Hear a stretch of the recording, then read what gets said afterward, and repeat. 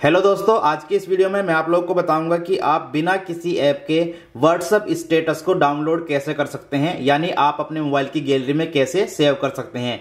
और इसके लिए आपको प्ले स्टोर से कोई भी ऐप डाउनलोड नहीं करनी है।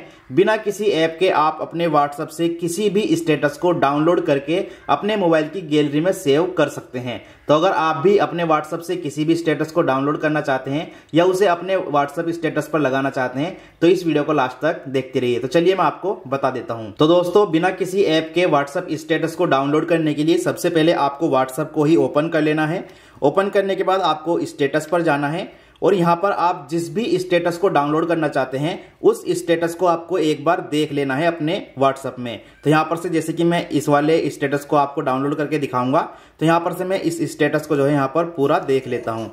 तो यहाँ पर से आपको स्टेटस को पूरा देख लेना है। यहाँ पर आप देख सकते हैं, मैंने जो स्टेटस है वो यहाँ पर देख ली है। अब इनको डाउनलोड कैसे करना है, अपनी मोबाइल की गैलरी में सेव कैसे करना है, उसके लिए आपको यहाँ से बैक चले जाना है और आपको अपने मोबाइल में फ़ाइल मैनेजर ऐप को ओपन कर लेना है। जैसे कि मेरे मोबाइल में माई फाइल्स है, आपके मोबाइल में फ़ाइल मैनेजर हो सकता है या फ़ाइल एक्सप्लोरर हो सकता है तो वो आपको ओपन कर लेना है। तो यहाँ पर मैं माई फाइल्स को ओपन कर लेता हूँ।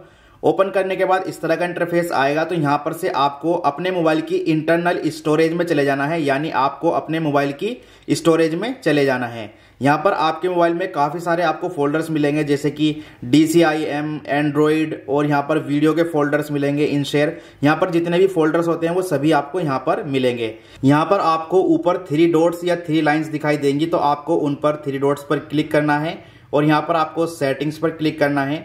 और यहाँ पर आपको एक ऑप्शन मिलेगा शो हिडन सिस्टम फाइल्स तो आपको ये जो ऑप्शन है, इसको ये बंद रहेगा तो आपको इसे इस तरह से ऑन कर देना है।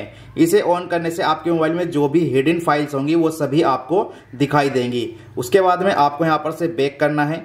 फिर से आपको उन्हीं थ्री डॉट्स या थ्री लाइन्स पर क्लिक करना है और यहाँ पर क्रिएट फोल्डर पर क्लिक करना है और यहाँ से आपको एक फोल्डर बना लेना है और उसका नाम आप कुछ भी रख दीजिए, जैसे कि यहाँ पर मैं रख देता हूँ स्टेटस और यहाँ पर क्रिएट पर क्लिक कर देना है। तो यहाँ पर ये स्टेटस वाला फोल्डर इस तरह से बन जाएगा। अब यहाँ पर आपको अपने मोबाइल में एक फोल्डर ढूंढना है, जिसका नाम व्हाट्सअप होता है। तो यहाँ पर से मेरे मोबाइल में ये जो व्हाट्सअप फोल्डर है, वो यहाँ पर नहीं आ रहा है। हो सकता है आपके मोबाइल में आ जाए, या हो सकता है आपके मोबाइल में भी इस तरह से व्हाट्सअप फोल्डर ना आए। तो आपको यहाँ पर से ऊपर सर्च कर लेना है। सर्च में जो व्हाट्सअप फोल्डर है, वो आ जाता है। तो यहाँ पर से आपको व्हाट्सअप सर्च कर लेना है। जब आप व्हाट्सअप सर्च करेंगे तो यहाँ पर आपको बहुत सारे फोल्डर मिलेंगे, जैसे कि WhatsApp audio documents images profile photo video और वहीं पर आपको एक जो व्हाट्सअप है वो बिल्कुल खाली व्हाट्सअप इस तरह का मिलेगा। तो आपको इस वाले जो व्हाट्सअप है, इस फोल्डर को आपको ओपन करना है। जब आप ओपन करेंगे तो यहाँ पर आपको और भी फोल्डर मिलेंगे। तो यहाँ पर आपको एक फोल्डर मिलेगा मीडिया वाला। ये देख सकते हैं आप मीडिया फोल्डर मिलेगा। आपको इस मीडिया वाले फोल्डर को ओपन करना है। अब फिर से आपको यहाँ पर काफ़ी सारे फोल्डर्स दिखाई देंगे और इन्हीं में आपको एक फोल्डर दिखाई देगा, डॉट स्टेटस। तो आपको ये जो फोल्डर है, डॉट स्टेटस वाला, इस पर क्लिक करके आपको इसको ओपन करना है।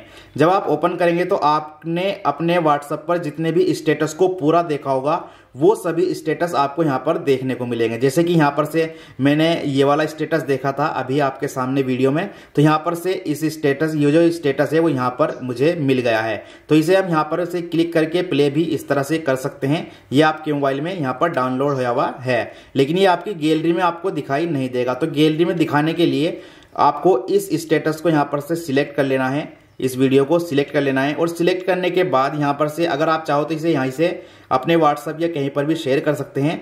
नहीं तो आप इसको यहाँ से मूव पर क्लिक कीजिए। तो यहाँ पर आपको मूव पर क्लिक करना है।